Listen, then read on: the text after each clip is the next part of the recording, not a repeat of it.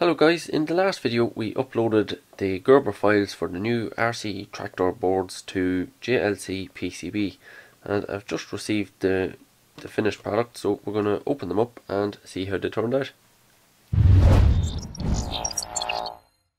So first thing you'll note is they've come in a nice little box here so they're well protected. We'll open them up. They're bubble wrapped inside as well so extra little piece of uh, protection for your new PCBs. You can see that each set of PCBs has come in a heat sealed bag and each bag has a silica gel pouch in it. So that will prevent too much moisture in the in the bag and uh, prevent corrosion of your PCBs so that's a pretty good way of packaging it. Have a little description of what it is. So that's tractor board 2 bottom. That one's tractor board 2 top and it says it's 1.6 millimeter PCB and I don't know what any of the rest of it means. But so far so good. Okay so here's the two boards that are basically what we need to control one of the RC tractors. Um, this little one here has our Atmega chip on it and it is going to have header on the bottom that will plug into this one which has our motor driver and an expansion chip. So it's slightly different from our other design, but uh, hopefully it'll work. You can see that the pins on this one are going to line up with the pins on this one. And the pins on the outside then, there where the wires are going to be connected. So hopefully that will work out alright. Okay, so let's take a look at the uh, board with the controller on it first. It's a little hard to film this because it's such a reflective surface, but we'll do our best. Um, the PCB itself looks really nice in, in the blue. I think it's uh, turned out uh, very well. Um, you can see the traces very clearly when you get the light on. So it seems to have uh, turned out perfectly, exactly like what we wanted. So you can see our outline for our main Atmega chip there. The pads are nice and clear. There's uh, doesn't look to be much opportunity for a jumper to occur. There's good solder mask on all the traces. Um, the blue uh, board that we chose is a really nice colour, looks great. It's a little hard to see it on the, the camera here with all the light reflecting on everything, but when you do get shine, there you go. It's a nice kind of a rich blue colour. But all our pads, everything looks pretty perfect. There's nothing really to complain about.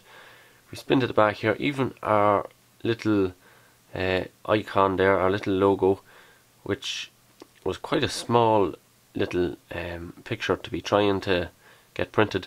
But even that has come out in pretty good detail. Like you can tell that is the Ford TW35 that we're using the logo. That's very clear. Uh, I positioned it poorly there. We have a pin running through the middle of the uh, rctractorguy.com. But you can see the text at the top is pretty clear. Again, it's very, very small text that I was trying to write with. And they seem to have managed it pretty perfectly. You can see there, I obviously got the silk screen wrong because that is the outline for the uh, the little crystal there that goes in that slot. So I managed to get the outline on the bottom. Now that won't be their fault, that's something I done wrong. But other than that, it looks good. You can see at the pins there, there's no jumpers between the pins. Even though they're quite small, they're perfectly outlined there. They're still going to be challenging to solder, but there is a clear gap between the two pins there, so there was no mistakes made there. So that board, as far as I'm concerned, is ideal for what we want. If we look at the second board here, this is the one that's going to have the expansion chip and the motor driver. And it is basically a shield for the other little board. And everything's pretty much turned out exactly like we wanted it same as the other one. Uh, the pads are clear the pin uh, the through hole pins they're uh, perfectly clear as well there's no jumpers or solder bridges there's no traces or pads that look a bit dodgy everything is perfectly uh, milled and looks pretty good. The logo is even better on this one because I don't have pins going through it like I did on the other. You can see our little logo just come out perfectly clear. I'm very happy with how the logo came out.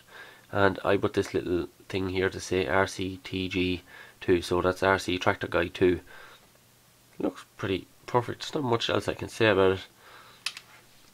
So just for comparison, here is the last board. So you can see the chip is here. That is now on this board. Uh, the expansion chip and the motor driver. Expansion chip and motor driver. So we've basically confined everything into a slightly shorter package, but it'll be taller obviously because the, the boards are going to be stacked. So that looks alright. But just if you notice on this one, the text is too small, it's quite broken up. Kind of hard to see. It's not very clear on there, like when it's maybe hard to see on the camera, but in reality it's quite hard to see what's actually written on most of the little pieces here. Now the text is alright there, um, and it's okay there,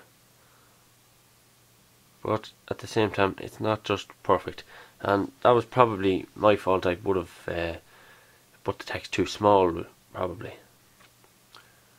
On here you can see where we V-scored up the side of the pins and it cut through the pins so that was no good um, that's why in the new one you'll notice that unlike this one where it cut off all the pins here this one there's a nice little border around it and it's quite clear. There's nothing going to be uh, damaged there. In some of these like the V-scoring could have joined those pins that maybe you didn't want. Like these ones you don't want them joined but the cutting simply could have just bent the contacts together and made them connect. But that is the difference with our little boards. If anyone's wondering what the text is in here this will be the little code that they put on the board so that they know this is this particular batch and probably if you went back and looked at the video or did I actually upload the thing in this video not sure but um, that is probably the code for the order that I placed. So I would say you'd have to be quite happy with the results of that. Uh, the boards were very cheap, only a couple of dollars for uh, 10 of each, and they've turned out perfectly as far as I can see. In the next video I'll solder up the components onto them. I'll probably do one video for this one and then test it out in the video. So all we'll have to do is get the chip on it, give it a bit of power. Uh, we'll solder on a NRF module. So in case you weren't aware, the NRF module goes on the back of this board and you can see the contacts there which line up with the contacts on the NRF board. So it could be this way around, I'm not exactly sure which way I have it uh, set up but uh, you know you just make sure that's right when you're doing it one thing I'm noticing, I might have put the pins here a little bit too close to this board. So quite possibly I'll have to put the female header on the top of this board and plug this one onto that in exactly the same way you would do with an Arduino uh, an Arduino shield. Actually that would probably work out a little bit better for the radio because then your radio isn't sandwiched in between the two boards. Actually now that I think of it uh, it's definitely that way because that leaves the ground plane of the NRF module which ends just there at the top of that bit of solder lining up with the ground plane of the bottom board. That's the way I intended it to work. So to just give the antenna a slightly bigger ground plane or at least that was my plan and I think that'll probably work. So if I make this one the lower board that means the NRF has a better chance of or the antenna has a better chance of radiating that signal. So I think that'll work pretty good. That also benefits us because if we have the female header here, then to test it, all we have to do is plug in our pins into the header. That also works out better for the next video because if uh, the female header is on this one, all we have to do is plug the wires into the header to test it. So that's pretty good. And here is a little bit of the header, so it'll just slot in there and well you'll just cut a bit to the right size obviously but it'll slot in there and we can plug our wires in the top Well, that's our new RC tractor control boards. Uh, big thanks to JLC PCB for making the boards and sending them into us.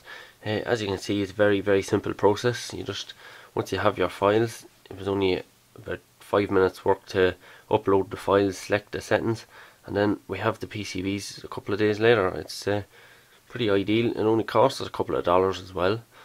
So it's really so cheap, there's no excuse not to be uh, giving it a go if you plan to make any sort of a, a circuit board at all.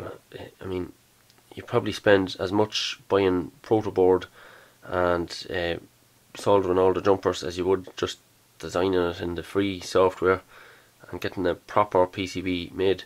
Uh, It'd certainly save you a lot of time in soldering anyway. That's all I have to say about the PCBs. If you decide to go and get your own boards made, make sure and post them on the Facebook page or something so we can see how your boards turned out as well. And like I said, next video we'll be making up this board, so I hope to see you in that one. Thanks very much for watching.